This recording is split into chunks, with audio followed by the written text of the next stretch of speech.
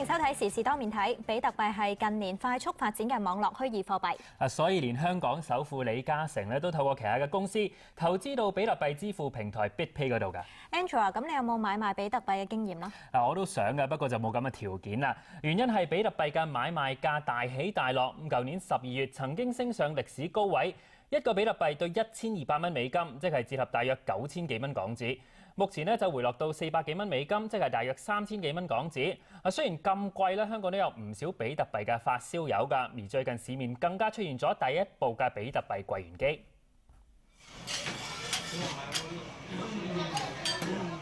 中環呢一間煎餅專門店，一個煎餅賣大約五十蚊。咁除咗可以用現金或者係八達通俾錢，仲有特別嘅俾錢方法。首先就咁個 Bitcoin Bitpay 嘅，會用嗰個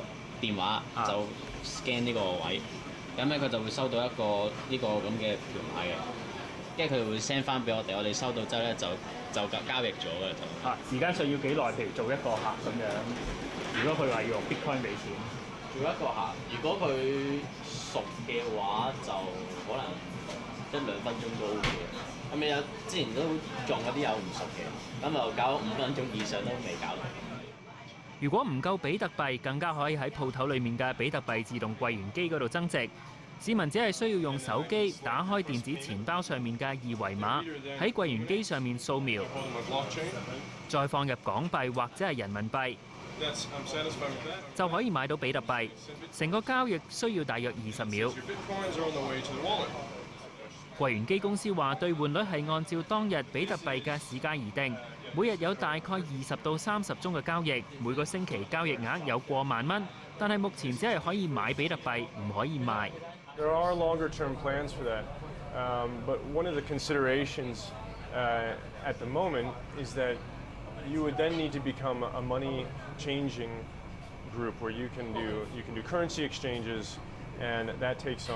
an additional element to the business that we don't uh, want to involve ourselves in yet. However, in the future, we might do that. 市民点睇呢？ I think it's something we don't understand. I'm 47 years old, but maybe a 17 year old might understand it. He's on the internet all the time. And what you hear in the press is, is a lot of drug dealers and smugglers are taking this up. So I don't know how that true is, but it looks like an easy way for uh, laundering money too. We don't know what it is, and that's therefore we ban it, and therefore we, you know, take steps against it. But listen, any good idea began like that, isn't it? 有學者認為比特幣未能夠符合傳統貨幣應有嘅三種功能，包括係交易、儲值同埋記帳。交易媒體你可以有有啲人會接受，啲人唔接受啦。咁但係都係未完全係成為一個全面嘅交易媒體嘅。儲值呢個更加唔使講，因為佢 佢個波動比較大，所以就暫時嚟講就未必可以做一個儲值或者係一個投資嘅功能。咁誒、呃、記帳咧就都係暫時都未得，即係因為比特幣可能都比較貴啲啦。咁就算真係達到呢三個功能咧，佢都未必可以取代傳統我哋一個即係中央銀行發出嚟一個貨幣嘅。原因就係你要誒，即、除咗你嘅硬幣之外咧，你可能都要透過銀行系統咧將啲錢存入去，咁銀行硬幣肯俾利息你，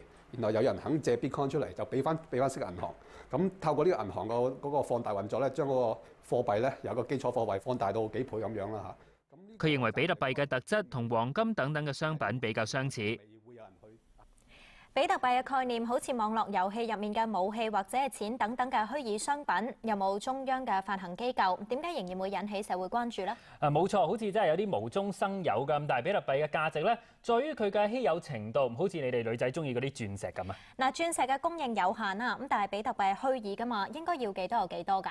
啊，比特幣咧係透過電腦作出複雜嘅運算之後而產生㗎，已經設定到二一四零年最多即係會產生二千一百萬個比特幣，因為咁咧吸引咗唔少人去開採㗎。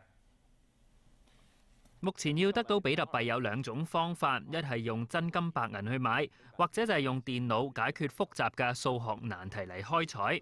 開採呢個概念咧，其實就係咧幫我哋咧運算一個數學難題。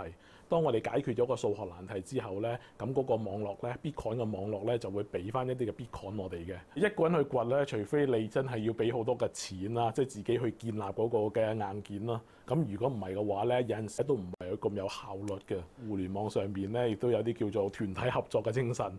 咁咧其實咧亦都有啲叫做誒 pool 啦，咁啊開採團隊嘅。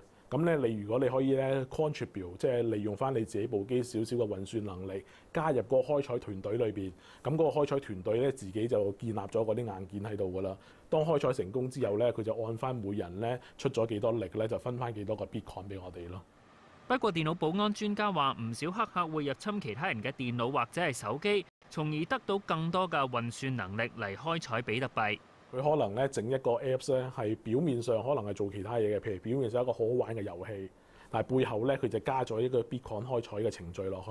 咁佢將呢嚿遊戲咧就擺上去一啲嘅誒，譬如 Google Pay 啊，或者係一啲嘅喺其他地方嗰啲嘅 Pay Store 度 download 咯。如果中咗嘅話咧，有個好明顯嘅徵兆嘅咧，就係咧，當你叉電嗰陣時候咧，你部機咧就發覺咧就係好熱嘅。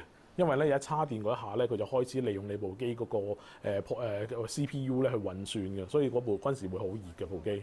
咁同埋你發覺叉電咧，就係叉好耐都未叉得晒。專家話，識嘅時候最好注意所需嘅權限，包括係咪需要網通訊或者係背景運作等等。建議安裝防毒軟件，定時檢查系統有冇出現異常。比特幣嘅炒風熾熱，咁但係最近呢，有交易平台懷疑因為失竊，所以咧就要停止交易運作。係其實包括中國在內嘅唔少國家咧都唔承認比特幣做法定貨幣㗎，香港亦都唔例外。咁有學者就話比特幣容易俾不法分子利用，認為各國應該加強去監察。十二月，中國當局宣布限制比特幣交易措施，比特幣幣值暴跌。到咗今年二月中，三間大型交易所因為技術問題，亦都凍結比特幣提款。人民銀行行長周小川之前出席研討會嘅時候話，比特幣唔係支付貨幣，又將比特幣比喻做郵票。比特幣本來就不是央行這個這個啟動的，也不是央行批准的一個幣，呃，所以呢，我們也谈不上什么取締。好像说，呃，你过去你比如说有人这个集郵是吧？那邮票。上头也写着价钱的，但是它主要是这个，呃，是一种这个收藏品，然后在或者作为资产来说作为交易的，但并不是支付性的货币。不過有比特幣商人話對前景仍然樂觀。What the governments around, uh, well, particularly say the mainland Chinese government is doing, they're insulating their largest financial institutions from something that they don't control. So they're not cracking down on it, the government is basically pushing it over there, saying, we don't quite understand it yet. Um, we're not going to completely deregulate it or criminalize it. 有学者就认为用比特币交易买卖双方唔需要透露身份，容易俾不法分子利用。咁譬如如果你喺中国大陆而家运啲人民币出去就好难嘅，但系如果你有 Bitcoin 机咧， 咁我用買一百萬人民幣嘅 Bitcoin，咁我攞住兩個 coin 或者我將我去放落我電話嗰度，咁我攜攜帶出境，作為喺境外咧就提翻啲 Bitcoin 出嘅嘅現金出嚟。其實呢樣嘢就可以即係間接咧，就即係即係繞過你正常嗰個外外匯管制渠道，將啲資金去調走。咁所以其實係一個非法活動嘅溫床嚟。佢認為各國應該加強監察。嗱，美國國稅局三月嘅時候宣布將比特幣當做財產嚟看待，又針對開採比特幣嘅人咧話佢哋獲取嘅比特幣係以自雇方式得到嘅收入，所以都需要交稅。有學者認為呢個唔代表美國承認比特幣係法定貨幣，但相信咧係向前行咗一步噶啦。嗱，比特幣將來會點樣發展呢？相信仲要觀察多一啲時間先至知啦。好啦，今集時事多面睇講到呢度，下集見。